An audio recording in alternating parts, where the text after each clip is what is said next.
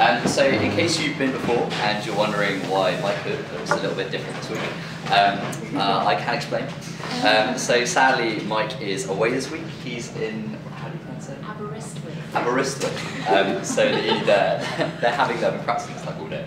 Um, they've been there, um, they've got their events week uh, this week, so he's there supporting them, uh, which is awesome, but sadly means uh, we've been deprived of his presence. I do apologise.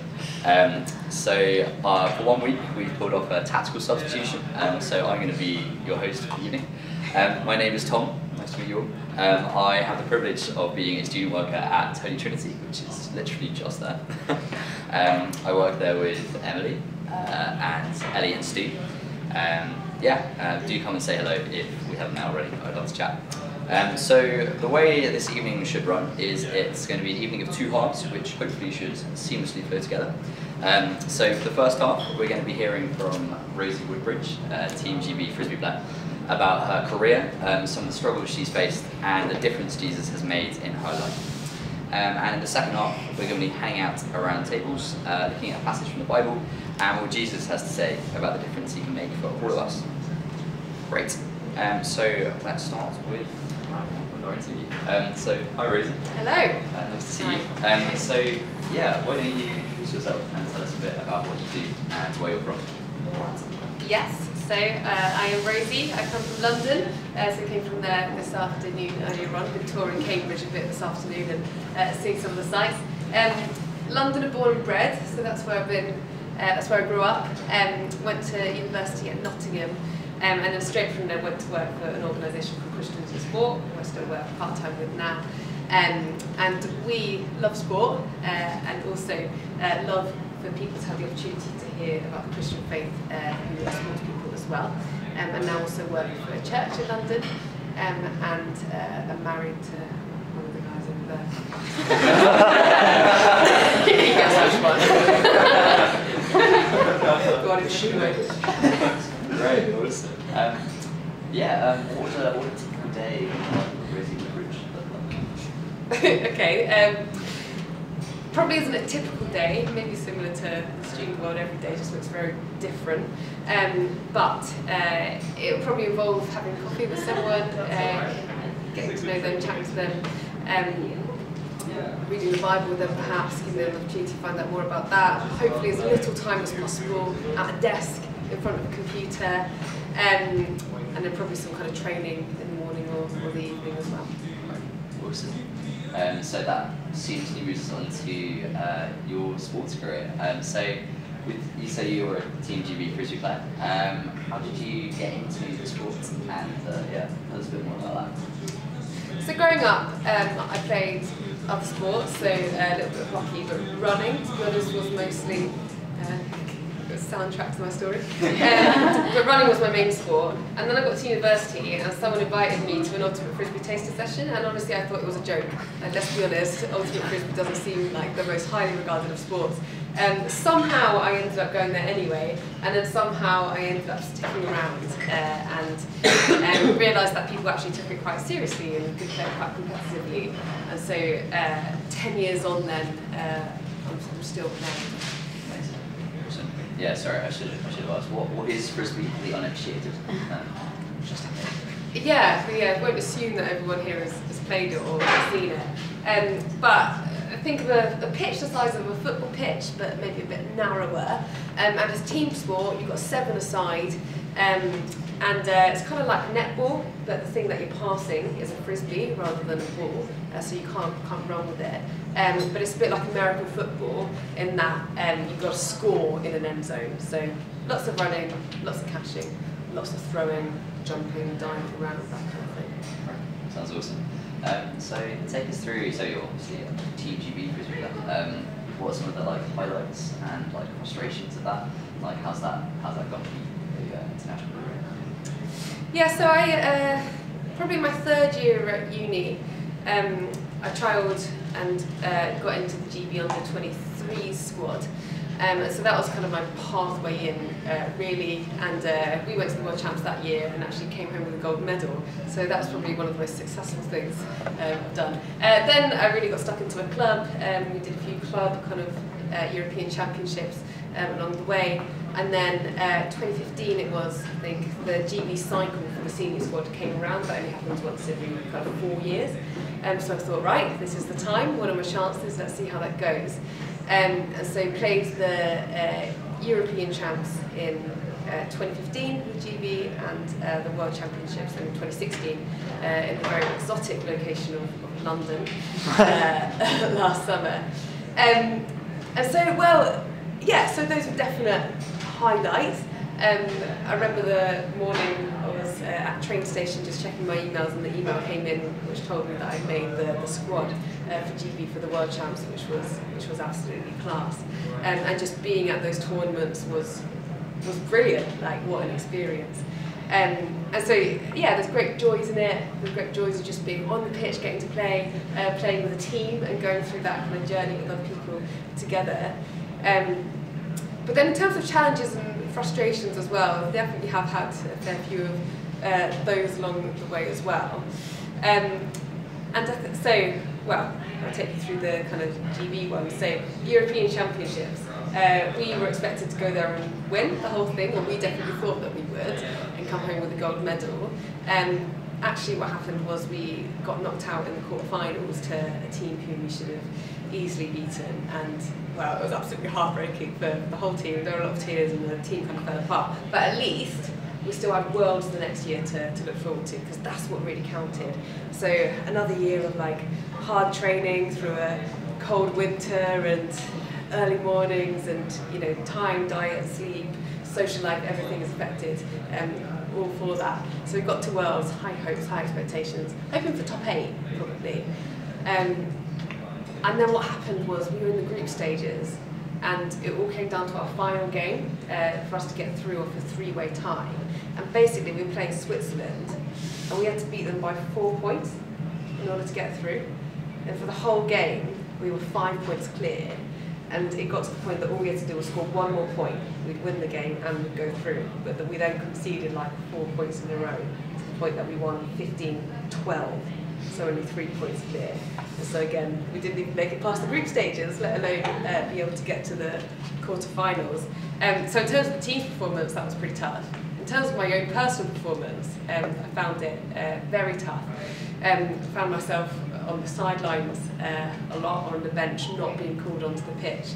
Um, and I think at times like that, that like really kind of, well, it really hurt. I was really gutted. I remember uh, finally getting called onto the pitch for one of the show games that was in front of um, a crowd of people and like crying while I was on the pitch, like sprinting down the pitch, trying to like chase uh, mark my mark my player with like tears streaming down my eyes, just because I was like, oh man, I thought I was good. Like, why, why do they not want me on the pitch? Uh, what, what's wrong with me? Um, and so at times like that, you kind of go like, was it even worth it? Like, we didn't do well. I'm not playing well. Like, what was the point in in all of that? Um, which I guess we'll come onto it in a little bit. But um, but great joys as well, great highlights. Uh, this year, um, there's no GB stuff happening at, at, the moment, so it's all about my club. And uh, we managed to qualify for the World Club Championships, which we've never done before. Um, so heading off to uh, Ohio, America, in, in July for that. Um, and so that is like that is amazing. That's super exciting. So if you're a sports player, you know, or if you see sport, there's highs and there's lows. Great, sounds cool. Um, yeah, so obviously Frisbee is one major part of that, but uh, Jesus is another major part, otherwise it wouldn't be. Um, so yeah, um, how did you become a Christian? Yeah, so I um, was brought up uh, going to church, and so my parents are Christians, so they did teach me about that stuff from a young age. So I think I always had this kind of belief in God, or was aware that He was there.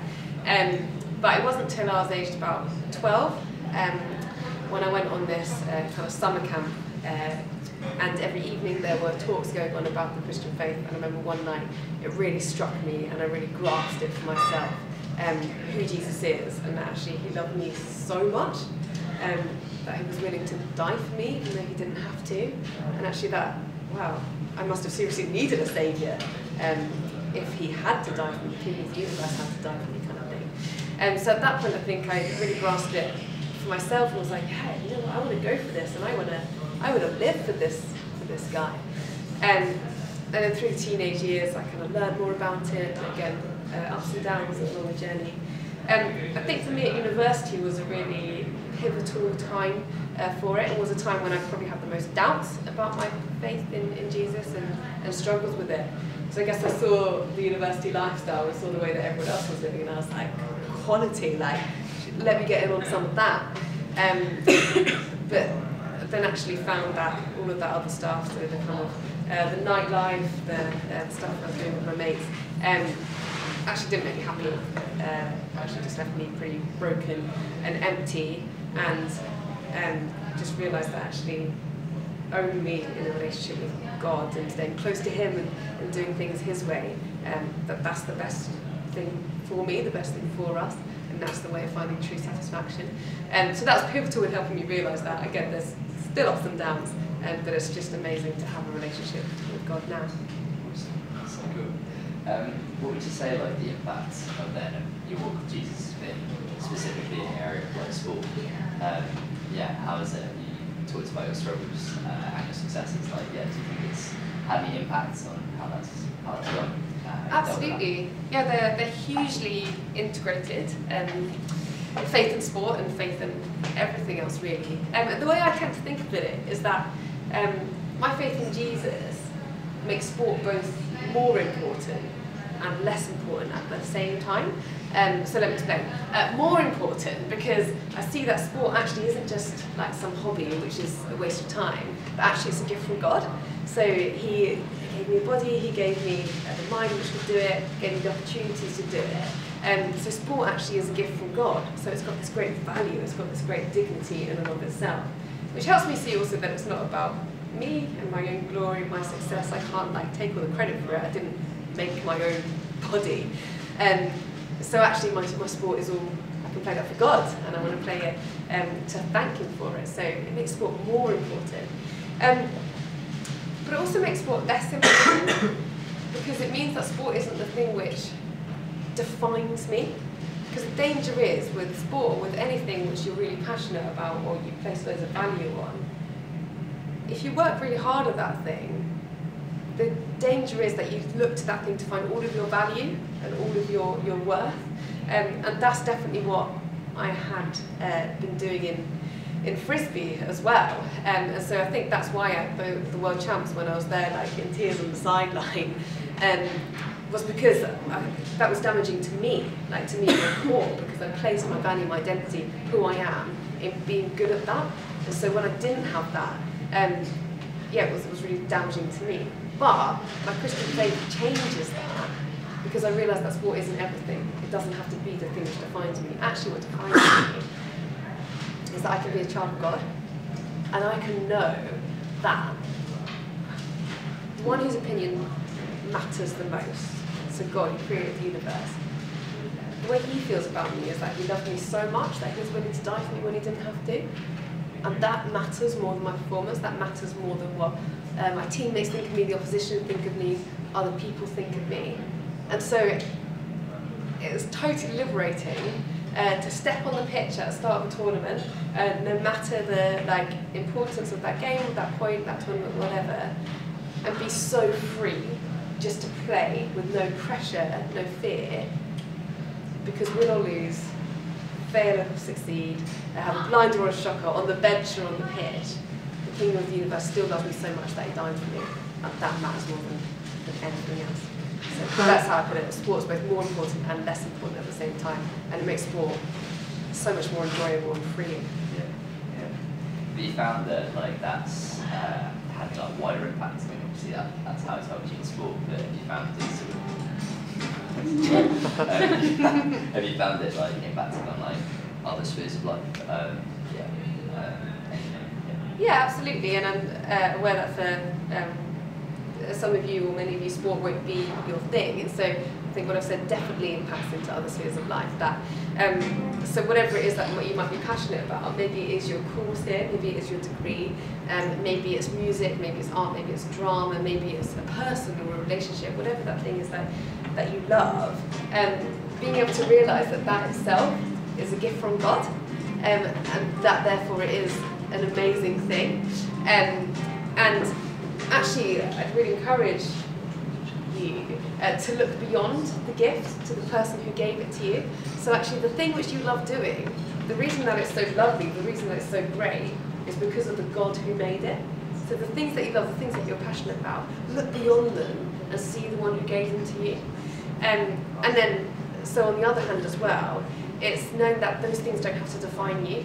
Um, that you are more than your performance in your degree, you are more than uh, how other people see you, your popularity, you are more than how um, the person, the person you're in a relationship with uh, sees you. Um, but actually you, you can have this identity as a, as a child of God, and that is unchanging and more liberating, freeing and secure than any other identity that, that there is. Awesome. Um, so Mike's always finished his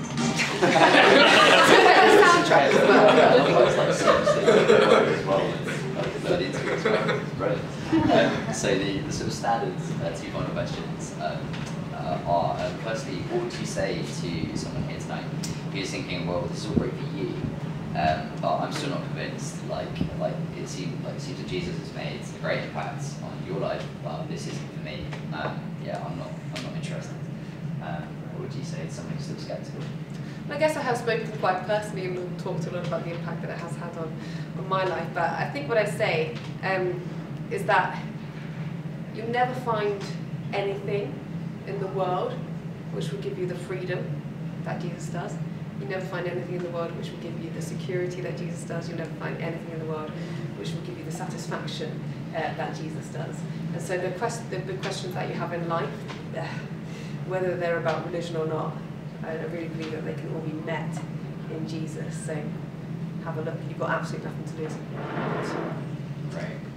Um, and what would you say to someone who, who is on the verge of being convinced but is still nervous about taking that final step of commitment about making that final decision? Um, so tell someone, like tell someone about it. Tell someone you're, where you're at. Tell them what's kind of uh, stopping you. Um, but I say to taste the day. It's hundred percent worth it. Um, go for it. Don't let don't let anything hold you back. Um, it's the best thing ever. Got nothing to lose and everything to gain. Um, so so make a decision. Go for it. Don't don't delay. Great. Awesome.